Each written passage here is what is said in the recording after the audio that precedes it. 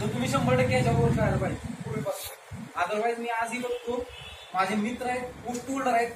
आता आमचे मित्र आहेत सर्वच तिथं तर आमचे मित्र आहेत जे पोरं आहे ह्या वर्षी मेन्सला नाही आहे त्याच्यात कॅलिबर कॅलिबर आहे की ते डीसी डिवाइस ते आरामात होऊ शकतात. बट या पेपरमुळे या या वर्षी मेन्स नाही म्हणजे असं आहे. तर अशा कुठल्या चुकामुळे आपण बाहेर अजून कामा तुम्ही प्रिलिम जर नापास होत असेल ना तर एवढं म्हणजे डिप्रेशन येतं. आणि तुम्ही एकदम म्हणजे आणि त्या कंटिन्युअली जर दोन तीन वर्ष जर तुम्ही पाजा ना पाजा तर मग तर तुम्ही तुम्ही कामात नाही गेलेला असता. कारण एक तर प्रिलिम पास होत नसते. दुसरी गोष्ट आपले कोणतरी मेन्स वगैरे दिलेले असतात. आणि त्यांच्याकडे बाकीची पोरं मेन्स म्हणजे दिले. म्हणजे त्यांना पोस्ट नाही काढू. म्हणजे मेन्स दिले. असा एक वेगळा जावा असतोय. आणि आपण पुन्हा आणि काय झालं असतो जे नवीन तुमच्यासाठी आलेले असतात त्यांच्या मधला एक अंदाज असतो. की माझा अभ्यास असून सुद्धा नवीन न्यू कमर सारखा हा प्रिलिम्स अजून पास आहेत नवीन इट्स लाईक न्यू करू. मग अशा प्रकारचं होतं आणि मग पुन्हा आपला कॉन्फिडन्स लो होतो. आणि मग कॉन्फिडन्स लो असेल की तुम्हाला माहिती आहे कॉन्फिडन्स लो असल्यानंतर काय असते एका वाघ एका सिंहाची सिंहाची टोळी जी एका बकरीने हेड केलेली असते ती नेहमी हरते. पुन्हा पुढं जी बकऱ्यांची टोळी एका सिंहाने हेड केलेली असते. आलं लक्षात? कारण जो लिडरशिप ऍटिट्यूड असतो जर तुमचा लीडर किंवा तुमच्यातला जो कॉन्फिडन्स आहे तो जर नसेल तर तुम तुम्ही हारणार शंभर टक्के. तो पाहिजेच तुमच्यामध्ये त्या टोटल प्रोसेसमध्ये तुमच्या टोटल फेजमध्ये तो शंभर टक्के असला पाहिजे. दुसरा आहे मेन्स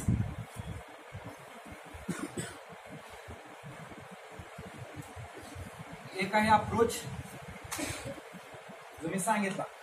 पहिल्या पेपरसाठी मी हिस्ट्री जॉग्राफीसाठी सांगितलं. की particularly related to facts geography असेल खाड्यांचा क्रम नद्यांचा क्रम वरती जाणार नदी खालती जाणार नदी डोंगर रांग्यांचा क्रम त्यानंतर ऍग्रीशी रिलेटेड असेल तर कुठली माती त्यामध्ये काय कमी असते कमी असते ते कुठलं खत लागते? डायरेक्ट फॅक्ट फॅक्ट बेस आणि जे माहीत नसेल वर्क करा त्याच्यात. क्वेश्चन पेपर सोडा त्याच्यातून बऱ्याच माहिती नवीन गोष्टी माहीत होतात. तर या पद्धतीनं पहिल्या पेपरसाठी दुसरा पेपर रिलेटेड टू काय आहे? लक्ष्मीकांत आणि त्याचं दुसरा पार्ट आहे तो कायदे आहेत.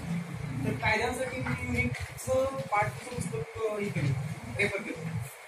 आणि त्यातले मला ऍक्च्युली माझा मित्र आहे रमेश रमेश पवार तर त्यांना सांगितलं होतं की कशा प्रकारचे म्हणजे कायद्याचं मग मी पहिल्यांदा वाचलं होतं त्यांना विचारलं की कायद्याचे प्रश्न कसे आहेत? कारण त्या माणसानं पी एस दोन तीन मेन्स दिल्या होत्या. त्यामुळे त्याला कायद्याचा बराच मा- होता अभ्यास होता.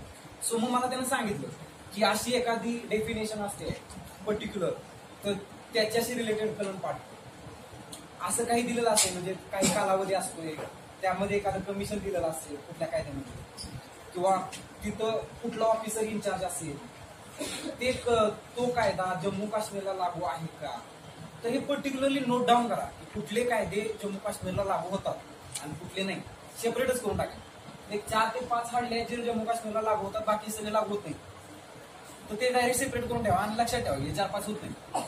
बाकीचं कुठला काही जम्मू काश्मीरला आणि शंभर टक्के दरवर्षी एक क्वेश्चन असतोय ज्याच्यामध्ये असं लिहिलेलं असतं की हा हा कायदा आणि त्याच्याबद्दल खाली स्टेटमेंट बरोबर कोणतं? आणि हा कायदा जम्मू काश्मीर राज्याला लागू होत नाही असं काहीतरी असतं. तर ते तुम्हाला आलंच पाहिजे. आणि मग बाकीचं राहिलं त्याच्याशी रिलेटेड म्हणजे ती शिक्षा किती होणार त्या कायद्यानुसार त्याही एकदम प्रिसाईज आणि कन्साईज हा क्राईम फाईव्ह ऑब्लिक फिफ्टी काय पाच वर्ष किंवा पन्नास हजार दंड किंवा पाच वर्ष किंवा तीन वर्ष वीस हजार दंड. असं काही जे असेल ना ते असं चार्ट बनवून ठेवा. कायद्यासाठी. ही शिक्षा एवढा दंड. अशा पद्धतीनं जे जरा करा. म्हणजे कसं होतं की लगेच तुम्हाला समजून जाईल की आय टी असेल तर मग जर हे केलं एंट्रेंचमेंट केलं दुसऱ्याच्या माहितीमध्ये जर आपण घुसलो तर त्याच्यासाठी किती?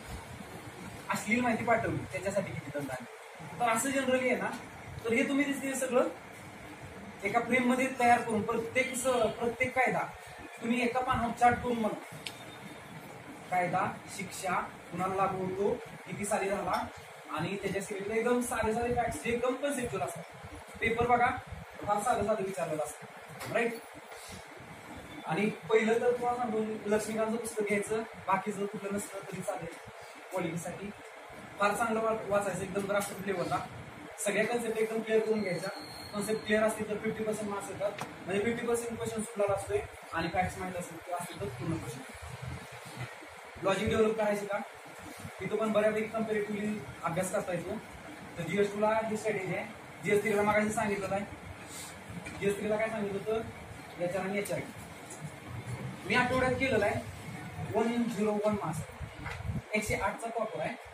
मला एकशे एक मार्क्स आहेत मला असं वाटत नाही आठवड्याच्या अभ्यासात कुणाला एकशे एक मार्क्स पडतील आणि तू कोणी प्रयत्न करणार नाही पडणार. पण मी काय केलेलं आहे ते सांगतो. मी क्वेश्चन पेपर घेतले. Previous year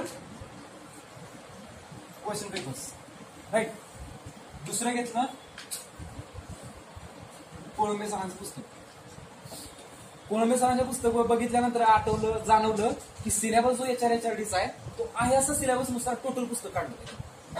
टोटल पुस्तक जर तुम्ही बघितला प्रत्येक धडा बघितला आणि त्याचे जो पॉईंट पहिल्यांदा त्यांनी दिलेले आहे ते आहेच्या आहेत असेच्या असे पॉईंट कुठं आढळते तुम्हाला सिलेबसमध्ये तेच त्यांनी उचलून टाकलेले आहे आणि त्यानुसार मग हे बेस ठेवलं मी. हे पुस्तक बेस ठेवलं आणि त्यानंतर घेतली माझ्या रूममेटची सिनर्जीची गणेश हाकेसरांची पुस्तक. की ज्याच्यामध्ये फ्लॅगशिप योजना. जनरली आता ती सिनर्जीची पुस्तक आहे राईट हाके सरांची पुस्तक होती. घेतली. याच्यामध्ये फक्त व्हॅल्यू एडिशन काय वाचायचं? हे माझं बेस आहे. याच्यामधलं काय वाचायचं? फ्लॅगशिप प्रो प्रोग्राम असतील. म्हणजे एखादी एज्युकेशनशी रिलेटेड दोन हजारची पॉलिसी असेल शहाऐंशीची पॉलिसी असेल शहात्तरची काय असेल. ओके हेल्थशी रिलेटेड त्याचे महत्त्व महत्त्वाचे त्याचे महत्त्व म्हणजे सगळं वाचत वाचायचं नाही. एकदम एक्सेप्शनल असेल ना जे डिस्टिंग्विश करतं. एकोणीसशे शहात्तरच्या पॉलिसीमध्ये आणि दोन हजार दोन हजारच्या पॉलिसीमध्ये काय डिफरन्स आहेत जनरली काय आहेत की जन मला असं वाटतं की ते त्यांचे टार्गेट वगैरे आहेत त्याच्यामध्ये फरक केला पाहिजे. राईट आणि प्रौढ शिक्षण किंवा कुठले विषय नवीन ऍड केले जास्त करून शिक्षण असेल तर हे जनरली त्यांनी सांगितलं आहे. तर हेच फक्त लक्षात ठेवायचं एकदम फॅक्ट म्हणजे जसं की V K R B V K R B Ram ना. नाही. दुसरं एक कमिशन होतं. It is related to panchayat raj. आणि नाईन्टीन एटी फाईव्ह ला झालं होतं. पहिल्यांदा कुठलं होतं? बलवंतराय मेहता. दुसरं अशोक मेहता. आणि तिसरं जीव्ही जी.व्ही. राव. तर ते जीव्ही के राव कमिशनमध्ये सगळं वाचत बसायचं का नाही? त्याचं एकच सगळ्यात महत्वाचं रिकमेंडेशन आहे डिस्ट्रिक्ट डेव्हलपमेंट कमिशनर ही नवीन कमिशन आणली बाकीच्या जनरली कॉमन आहे. तेवढं लक्षात ठेवायचं की डिस्ट्रिक्ट डेव्हलपमेंट कमिशन कोणी आणलाय? जीव्ही के राव. तर अशा पद्धतीने अभ्यास करायचा. एकदम डिस्टिंग्विशिंग फॅक्टर आहे. तो फॅक्टर शंभर टक्के तुमच्या लक्षात राहिला पाहिजे. जर तो जर तुमच्या लक्षात राहिला ना मी तुम्हाला सांगतो भरपूर असेल कारण एमपीएससी असंच विचारत असते एकदम डिस्टिंग्विशिंग जे वेगळं आहे बाकीच्यांपेक्षा. ते शंभर टक्के दिलेलं असते आणि त्याच्यावरून आपल्याला उत्तर काढायचं असते. आणि याच्यातली मासे वेगवेगळ्या योजना. सोनी योजना योजना काहीतरी असते. प्रियदर्शन योजना. राईट अशी वेगवेगळी नाव आहेत जी याच्यामध्ये नाहीये. ती सगळी अशी वेगवेगळी. अजिबात ते गेलं नाही मी. एस सी एस टी साठी वसतिगृह योजना. कोण विचारतो कधीच विचारली नाही. त्यांच्यासाठी कुठं ते फेलोशिप कुठं द्यायचं? फॉरेनमध्ये अभ्यास करण्यासाठी फेलोशिप योजना. नाही विचार कशाला वाचायला ते भरपूर दिलेलं असतंय पुस्तकांमध्ये. वाचायचं नाही. क्वेश्चन पेपर बघा.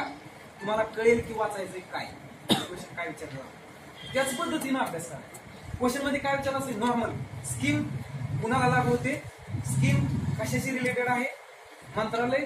कुठले डिपार्टमेंट आहेत कुठलं नाहीये त्याचा लोगो काय आहे हे सगळं या तिसऱ्या पेपरला आहे. तर तुम्ही कशाला नाही तुम्ही ते नाही ते वाचत बसलाय? पॉलिसी घेतली कुठली तरी एकदम आडगळी पडली ती जुन्या काळातली आणि वाचत बसलाय. गरज नाही पेपर बघा क्वेश्चन काय विचारले जातात ते बघा. आणि एवढ्यावर मी तुम्हाला सांगतो, मी एकशे एक मार्क्स काढले आहेत आठवड्यात. जर अशा पद्धतीनं आणि याच्यापेक्षा जर चांगला अप्रोच असेल तर येऊ शकतात मार्क्स बट असं काही नाही की आठवड्याभर अभ्यास करून जाऊ ऍटलिस्ट महिनाभर तरी करा दिवसाचा म्हणजे तुम्हाला एक एक मार्क्स आणि चौथा पेपर इकॉनॉमी आणि सायन्स टेक राईट तर सायन्स टेक ऍक्च्युली माझं युपीएससीच्या प्रिलियम्सला टेक्नॉलॉजी असते. सो करंट रिलेटेड टेक्नॉलॉजी त्यातून झालो आणि प्लस कोळंबे सणाचं जे पुस्तक आहे सायन्स टेकचं त्यातला पहिला पार्ट तो मी बेस घेतला कारण it is relay it is according to the syllabus of M P S कारण ते बायोटेक्नॉलॉजी डिफेन्स नॉलेज नाही आहे वाटतं बट ॲटॉमिक uh, वगैरे आहे ना तर ते जनरली स्पेस सायन्स राईट तर ते सगळं आहे. त्यानुसार मग मी काय केलं? ते घेतलं. त्याच्याशी रिलेटेड रिसेंट डेव्हलपमेंट झालेली जे माझ्या माझ्या विजनच्या करंट अफेअर्स जे वाचत होतो त्याच्यातून क्लिअर झालं होतं. ते प्लस ते पुस्तक इंटिग्रेटेड स्टडी केला. आणि प्लस इकॉनॉमीसाठी दोनच पुस्तक. कोळंबे आणि देसली इव्हन मी युपीएससीला सुद्धा ही दोनच पुस्तकं वापरली. असं काही लागत नाही. युपीएससी साठी रमेश सिंग श्रीराम आय एस त्या सगळ्या अफवा काही नाही ते का? गरजेचं नाही. फक्त ही दोन जर एवढी चांगली पुस्तक आहेत. कोळंबी सणांचं आणि पुस्तक. त्याच्या बाहेरचं इकॉनॉमिक्स तुम्हाला विचारू शकत नाही. कारण त्याच्या बाहेरचं दुसरं कुणाला इकॉनॉमिक्स माहितच नाही. आयोगाला पण माहीत नाही. कुठनं काढणार आहेत क्वेश्चन स्वतः नवीन इकॉनॉमी तयार करणार नवीन सिद्धांत येणार आहे यांचा? हे काय कोणी अर्थशास्त्र नाही काय? नाही क्वेश्चन काढणारी माणसं काय करतात? रेफरन्स बुक घेतात आणि त्यातले क्वेश्चन काढतात नवीन काय कन्सेप्ट आणत नाही म्हणून तेवढंच करायचं. कोळंबी रेसिपी हे दोन पुस्तकं घ्यायची. आणि एक्सटेन्सिव्हली वर्क करायचं त्याच्यावर. प्रत्येक योजना. म्हणजे जे काही असेल. दारिद्र्य बेरोजगारी त्याचे निर्देशांक काय आहे, किती टक्के आहे? कुठल्या पद्धतीनं एवढी येते कुठल्या वेगळी पद्धत कुठली आहे? तर ती काय आहे? ती कुणी निर्माण केली? मल्टी डायमेन्शनल पॉवर्टी इंडेक्स कुणी आणला? युएनडीपीचा मल्टी डायमेन्शनल पॉवर्टी इंडेक्स आणि आपला मल्टी डायमेन्शनल पॉवर्टी इंडेक्स याच्यामध्ये काय फरक आहे? तर दोन्ही वेगळे आहेत. तर एवढं जरी लक्षात असले हे दोन्ही वेगळे आहेत. दोन्ही वेगळे क्रायटेरिया वापरतात. तरी तुम्हाला एक प्रश्नाचं उत्तर मिळून जातं की तिथे गेल्यानंतर स्टेटमेंट आले असते की आपण युएनडीपीचा कारण त्यांनी मल्टी डायमेन्शनल पॉवर्टी इंडेक्स आणला. त्यानंतर आपण तो फॉलो केला. राईट तर तो आपला वेगळा आहे थोडासा. तर आपण जर तिथं जर स्टेटमेंट असं असेल की युएनडीपीचा आपण जसा तसा वापरतो तर ते स्टेटमेंट चुकीचं आहे ना? सरळ सरळ करून जाते. तर अशा पद्धतीनं वा- वाचन का तर त्याचा तुम्हाला नक्कीच फायदा होतो आणि हे राहिलं हे झालं अप्रोच आणि बाकीचं मग आहे की ते चार दिवसाचा जो पिरियड असतोय एमपीएससी मेन्सचा यामध्ये तुम्हाला म्हणजे लक्षात ठेवा की आता हे तुम्हाला सांगायला थोडं चुकीचं आहे कारण तुम्ही मेन्सच्या फेजमध्ये नाही ज्या मेन्सच्या पोरांना कधी गायडन्स केलं तरी हे सांगायला हवं पण हे फोर डेज पिरियड असतोय मेन्सचा तर या चार दिवसात बऱ्याच वेळा एन्झायटी येते. आणि दिवसभर पेपर दिलेले असतात तुम्ही आणि दुसऱ्या दिवशी आणि पेपर असतात. सो मग तुम्हाला असं वाटायला लागतं की आपण अगोदरच्या दिवशी भरपूर हे केलेलं असतं. म्हणजे त्याचं रिव्हिजन केलेलं असतं. आणि पुढच्या पेपरच्या दिवशीचं रिव्हिजन झालं नसतं. आणि आपल्याला वेळ किती असतो? काढली बारा तासात असतो. त्यातले झोपायचे असतात. म्हणून लई टेन्शन घ्यायचं नाही. आता दोन वर्ष तू वाचलाय ना आता आता काय चार आठ चार आणि आठ तास अभ्यास मग असं वेगळं काय तू दिवा होणार आहे? काहीच नाही ना. मग लय जास्त डोक्यात घ्यायचं नाही. आपल्या पद्धतीनं पुन्हा आल्यानंतर वाचत बस. जेही हार्ड टॉपिक असतील किंवा जे जेही सोपे आहेत जे तुला माहीत आहेत ते सगळे आपले नुसते चालून घ्यायचे. आणि जे हार्ड टॉपिक्स आहेत जे तू तुझ्या लक्षात न राहणारा डाटा आहे तो एक वेळा जाऊ दे डोळ्याकडून मग तिथे गेल्यानंतर आठवलं एखादा प्रश्न वेल अँड गुड नाही आठवला तर बेस्टच लॉजिक लावायला आणि कामालाच येते. मग लॉजिक कधी लावायचं? कारण अभ्यासाला आणि नॉलेजला लिमिट आहे. लॉजिकला लिमिट आहे. तुम्ही काही ला कुठलाही क्वेश्चन का? मला लॉजिक लावायला काय? काही लॉजिक लावू शकतो. लावू शकतो ना? आणि उत्तर येतात बरोबर लॉजिक लॉजिक डेव्हलप करायला शिकलं पाहिजे. एमपीएससी मध्ये. एमपीएससी हा खेळ फक्त कशाचा आहे? उत्तर काढण्याचा. मग तुम्हाला येत असो नसो. उत्तर बरोबर आला. तुम्हाला घरी विचारा येत नाही तर कोकाडे किंवा मोरेचं विचारत नाही. हे उत्तर तू काय काढलं नाही विचारायचं बरोबर काढलं ना? बस त्यांना काही घेणे नाही. मग आपल्याला उत्तर काढता आली पाहिजे ते लक्षात ठेवा. मग त्याच्यासाठी जी लॉजिक वगैरे डेव्हलप करता येतील तेवढी करा. कारण जेवढी तुमची चांगली लॉजिक असते की काही प्रश्नांचे उत्तर. म्हणजे तुम्हाला बऱ्याच वेळा ना क्वेश्चन पेपर जर सोडवण्याचं तुमचं अनालिसिस चांगलं असेल तर शंभर टक्के तुम्हाला कळून जाईल की काही प्रश्नांची उत्तर अशीच असतात. म्हणजे कुणाला काही माहीत नसते एकदम नवीन काहीतरी टाकलेलं असते. आणि त्या प्रश्नाचं उत्तर पहिला ऑप्शन असतो. की मला रमेश पवारनं सांगितलं. त्या प्रश्नाचं उत्तर पहिला असतं. पहिली दिलेली माहिती त्यानंतर क्वेश्चन पेपर दिलेला असतोय. चार ऑप्शन दिलेले असतात आणि एका ऑप्शनच्या पुढं समजा री ऑप्शन ऑप्शन असेल तर त्याच्या पुढे असं कंसात दिलेला असते काहीतरी त्याचा अर्थ दिलेला असतो. बाकीचे चार ऑप्शन ते उत्तर लिहून यायचं कारण ते उत्तर म्हणजे ते पोरांना कळायला पाहिजे की हे नक्की काय आहे. इन्फॉर्मेटिव्ह असं काहीतरी उत्तर असतं. माहीत असेल असं हे असं आहे का किंवा माहिती पाहिजे काही हिंट पण असतात. की बघितल्यानंतर काल पाहिजे. ते डेव्हलप करा. आणि पेपर जर सॉल्व्ह केले ना तुम्ही विचार करा. तुमचं लॉजिक कुठपर्यंत चालते आणि तुम्ही लॉजिक न सोडवल्यानंतर तुम्हाला त्याची उत्तर बरोबर आहे शंभर टक्के फायदा होतो. आणि मला तर झाला नाही. तर माझा एवढा अभ्यासून नाही. की मी डिवाइस घेऊ शकतो. तरी पण झालो. कारण ह्या सगळ्या गोष्टी आहेत ना मी चांगल्या म्हणजे चांगल्या प्रकारे वापरलेल्या लॉजिक वगैरे. आणि सगळ्यात शेवटचा आता हे तुम्हाला कुठपर्यंत घेऊन जाऊ शकतं? इंटरव्ह्यूला घेऊन जाऊ शकतो. ते तुम्हाला पोस्ट देऊ शकतं का कारण आठशे मार्क्स बट तुम्हाला ते क्लास वन बनवू शकत नाही. ते पोस्ट देऊ शकतं बट तुम्हाला तुमची जर पुन्हा आणि एमपीएससी द्यायची असेल पहिल्या वर्षी नायब तहसीलदार व्हायचे दुसऱ्या वर्षी सीओ व्हायचे तिसऱ्या वर्षी तहसीलदार व्हायचे चौथ्या वर्षी डीसी व्हायचे मग काय करायचं. पण एकाच वर्षी मला तशी डीसी किंवा डीवायसी व्हायचे आणि बाहेर जायचे. पुन्हा ते एमपीएससी तोंड बघायला असं जर करायचं असेल तर ही पेज एवढी महत्वाची असते की इथं तुम्हाला मार्क्स शंभर टक्के आले पाहिजे. कारण हे तुम्हाला बाकीच्यांपेक्षा पंधरा मार्क पडून जाते ना. मला पासष्ट मार्क्स आहेत इंटरव्ह्यूला बाकीच्यांना पन्नास मार्क्स आहेत. क्लास टू आहे क्लास वन बरोबर? मला पाहिजे ती गोष्ट मला भेटलेली आहे. कारण मला इथंच पासष्ट marks it was the highest marks sixty nine topper आहे. राईट का बरं पासष्ट मार्क्स ह्या इंटरव्ह्यू म्हणजे काय की गे जायचं बसायचं किंवा तो म्हणाला असं उत्तर द्यायचं काय? गप्पा मारून यायचं. काय काय कन्सेप्ट आहे इंटरव्ह्यूचे group discussion skill power mental ability confident आता ती आता ती आताची उत्तर दोन गोष्टी बघितल्या जातात. एक असतो कॉन्फिडन्स आणि दुसरा असतो ॲटिट्यूड कारण या गोष्टी तुमच्या चेक झालेल्या नसतात. बाकी सगळे चेक झालेले असतात तुमची अनालिटिकल ॲबिलिटी तुमची जे काही असेल तुमचं अकॅडमिक नॉलेज सगळं टेस्ट अगोदर झालेलं असते. राहिलेलं काय असते? कॉन्फिडन्स आणि ॲटिट्यूड मग हे आहे ना ह्या फेजमध्ये एवढंच लक्षात ठेवायचं की फार महत्वाचं असतं. एवढं महत्वाचं असते या ह्या दोन गोष्टी तुम्हाला शंभर टक्के मार्क्स मिळवून देतात माझा इंटरव्ह्यू झाला होता. राजूकर सरांचा पॅनल होता. पहिले तीन मिनिटं कंटिन्यू नाही उत्तर देत नाही. उत्तर जमत नव्हतं.